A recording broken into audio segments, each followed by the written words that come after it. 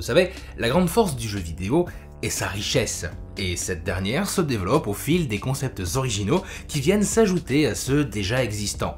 Problème, plus un titre demande d'argent pour être conçu, moins il prendra de risques dans son gameplay ou sa structure, mettant à mal toute forme d'originalité.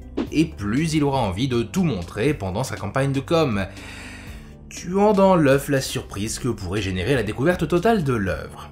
C'est notamment à cause de ça que de nombreux joueurs délaissent au moins partiellement les AAA formatés pour se tourner plus volontiers vers la scène indépendante, voire obscure. Et c'est justement dans les tréfonds du web que peuvent surgir les tentatives les plus improbables, étranges et bizarres. En l'occurrence, ma route m'a mené dans les méandres de la plateforme Itch.io. C'est là, parmi les propositions ludiques de la structure The Haunted PS1, dont je vous ai déjà parlé dans ma vidéo sur le 3, qu'est venu à nous le concept dont je m'apprête à vous parler. Salutations tout le monde, c'est Darkaos, bonne année 2021 à toutes et tous. Et pour célébrer notre arrivée dans ce nouvel an, eh bien j'ai décidé de vous parler du calendrier de l'Avent le plus chelou de l'histoire.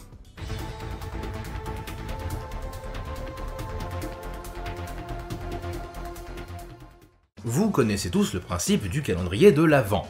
24 cases, une par jour précédant Noël, et chaque jour un petit quelque chose à découvrir, qu'il s'agisse d'un chocolat, d'une carte à jouer ou d'une vidéo de votre youtubeur préféré. D'ailleurs, faut que j'en touche deux mots à Edouard Hez. Il n'a pas fait l'an dernier, ça va pas du tout. Allô? Sauf que dans le cas du Madvan Calendar, que j'ai maladroitement traduit en français par calendrier du dément, désolé mais j'ai pas trouvé de jeu de mots satisfaisant avec avant qui évoque l'idée de folie, ce sont des jeux que l'on va découvrir et essayer.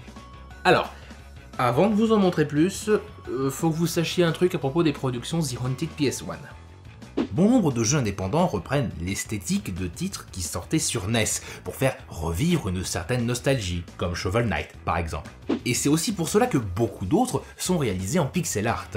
Même s'ils s'éloignent visuellement des vieux jeux, il émane quand même d'eux un feeling rétro et minimaliste qui sait plaire aux gens.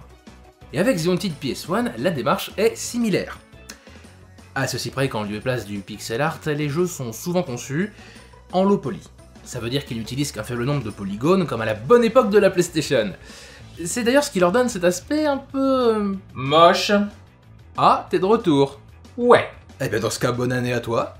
Meilleur vœu. Et, et donc euh, tu disais que ces jeux étaient... Moche. Euh... Oui... Mais au moins ça a le mérite de changer du sempiternel pixel art qui est, il faut bien le reconnaître, un peu trop présent. Bon par contre, oui, hein, si vous en doutiez encore, à moins d'être très tolérant sur le visuel, les images que je vais vous montrer vont vous taper dans l'œil. Mais ce ne sera pas tant pour faire pétiller votre regard que pour vous crever les yeux. Et c'est d'autant plus vrai que The Haunted PS1 est très attiré par le genre horrifique et les thèmes adultes. Sur ce, retournons à notre calendrier. Tout d'abord, vous accédez à une fenêtre servant en quelque sorte de hub central, qui prend la forme d'une pièce au centre de laquelle trône un étrange sapin de Noël constitué de plusieurs portails, et chacun d'eux doit être déballé comme un cadeau pour être utilisé. Cela ouvre une nouvelle fenêtre, celle du jeu. Alors, vous vous en doutez, je vais pas vous faire une review de l'ensemble des jeux, sinon on n'est pas couché. Du coup, je vais simplement vous décrire les trois premiers, histoire de vous donner une idée du truc. On commence avec RIP ou RIP, création d'un certain Nicolas Brancaccio, plus connu sous le pseudonyme de Pasta Future. On y incarne un personnage qui se déplace dans des zones ressemblant à des appartements. Chacune dispose d'un point d'arrivée et d'un point de sortie. Pour le localiser, il faut frapper du point, seule la partie du décor qui remue quand on tape dissimule la sortie, puis déchirer suffisamment la surface pour s'y frayer un chemin.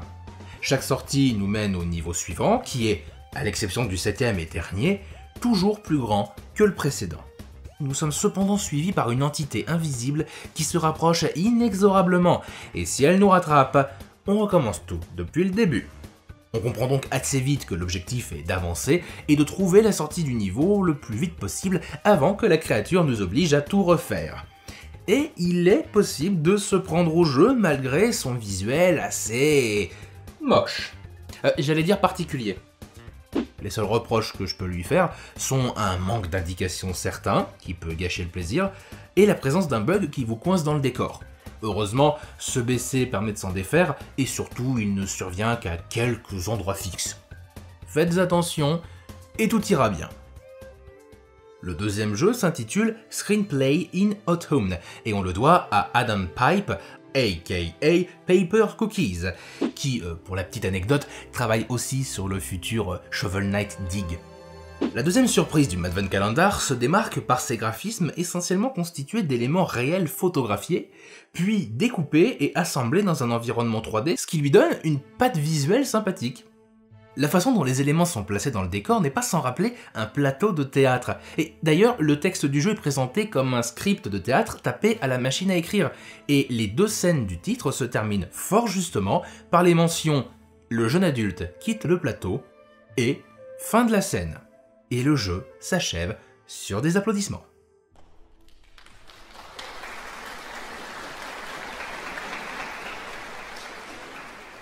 Sans trop vous en dire, je me réserve une vidéo spéciale pour revenir dessus, le jeu parle de la guerre et de la mort.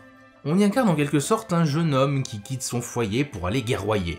Il n'y a pas vraiment de gameplay et l'expérience est plus narrative qu'autre chose. Des trois jeux que je vous présente aujourd'hui, c'est clairement mon préféré.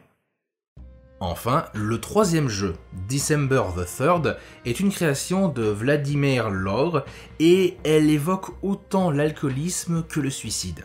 On prend le contrôle d'un personnage à bord d'un bateau, au beau milieu d'une mer noire et froide, ballottée par les flots en plein hiver.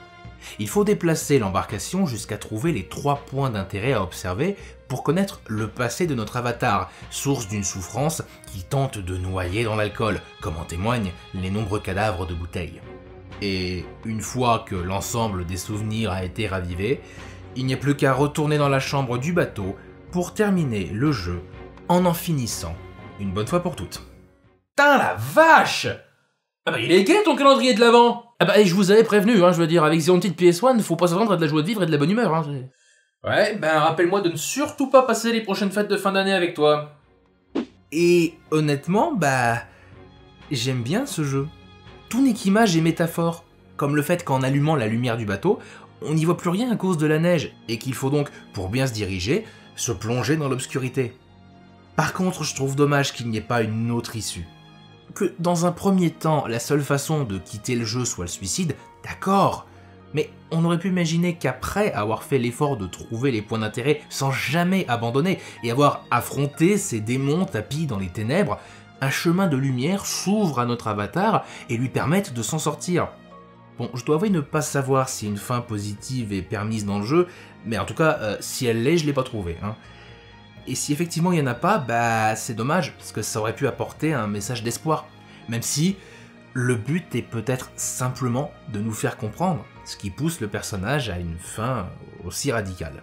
Ouais Allez, que tout le monde aille chercher un tabouret et une corde Wouh Et voilà pour les trois premiers jeux du calendrier du dément. Alors, euh, ce n'est qu'un échantillon, hein, il y en a quand même 21 autres à côté, mais c'est plus que suffisant pour pouvoir parler du projet dans son ensemble de manière plus générale et globale. Et le premier truc à dire est que je trouve le concept absolument génial. Un calendrier de l'avant vidéoludique, bah ouais, hein, mine de rien, fallait y penser. Et on peut remercier la communauté The Haunted PS1 de l'avoir fait.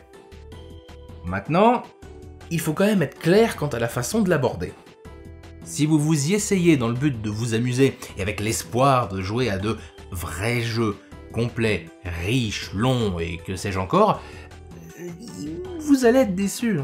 Ici, il n'est pas question de ressentir du fun, mais de vivre une expérience, ou plutôt de multiples expériences, toutes différentes les unes des autres. Ah bah clairement, chercher une expérience de jeu standard dans le Madvan Calendar, ça revient à chercher des vibes de la chanson Lucie de Pascal Obispo dans Hard Rock Alléluia du groupe Lordi. On n'est pas du tout dans le même univers. Et pour tout vous dire, parmi les jeux proposés, quelques-uns m'ont laissé dubitatif au premier essai, et certains m'ont plus parlé que d'autres. Mais il y a une chose qu'on ne peut absolument pas leur retirer, ces jeux sont originaux.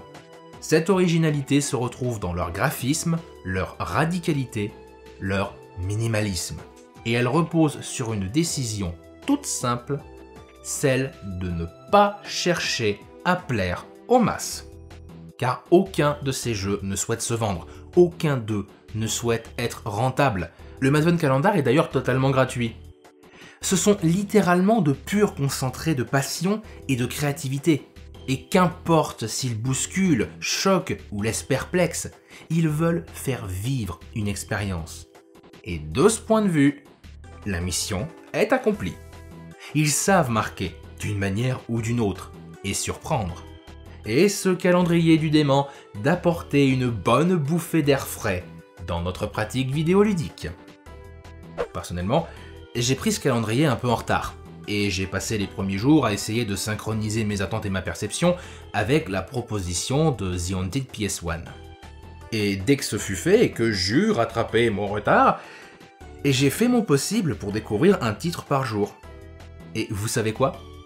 Ce fut l'une de mes expériences vidéoludiques les plus gratifiantes de 2020, principalement car elle était inattendue, mais aussi parce qu'elle était très intéressante et instructive. Bien sûr, elle demeure imparfaite et ne plaira pas à tout le monde.